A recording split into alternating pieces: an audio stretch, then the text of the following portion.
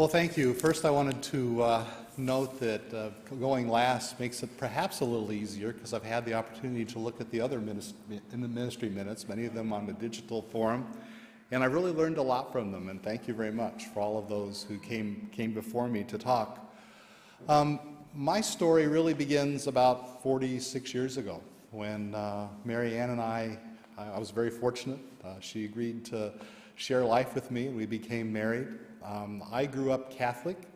Uh, Mary Ann grew up in the United Church of Christ, and, and her pastor actually suggested that the Episcopal Church would feel comfortable for both of us. Um, and, you know, during our last 46 years, we've uh, been many places. Um, when, I, when we were in Rhode Island starting our family, uh, we actually attended a ministry, or a mission church, a mission Episcopal church in Coventry, Rhode Island. And we moved to uh, Ann Arbor, where we actually attended a, a, cathedral church. And we moved then to Hershey, and we went to the cathedral church in, in Harrisburg, which felt, you know, quite comfortable to us. But I think after a few years, we sort of began to feel that we would really like to be part of a, feel like we were part of a living community. And I don't know that we had that much of that feeling uh, going down to Harrisburg.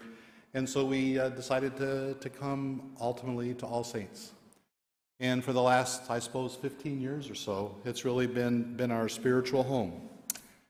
And you know, during this time, when you begin to reflect a little bit on things, uh, my mother recently passed away, which is sort of a time for reflection a couple months ago.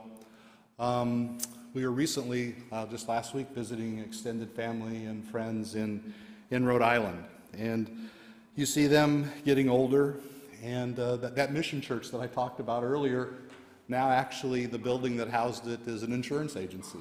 So things change, you know, with time. And, you know, to be fair, as individuals, we, we sort of age and our mortality becomes increasingly apparent.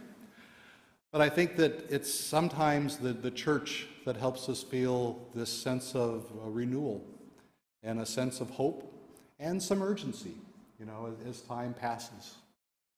Um, I think that Saint, All Saints Church at this point really provides us with a, uh, a spirit of inquiry and, and openness. Um, I, myself, I've enjoyed very much the, the, the, uh, the classes that are, uh, I know Tom led a really interesting class on letters to Paul that I found really opening.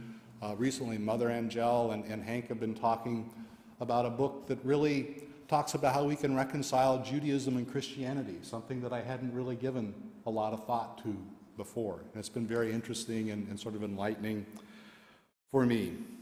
So it, it, feels very revitalizing for us to be a part of uh, All Saints Church, the worship service, uh, the house that sort of Ryan talked about earlier today. We feel increasingly uh, comfortable with and feel that All Saints makes us feel very much a part of this community that worships together.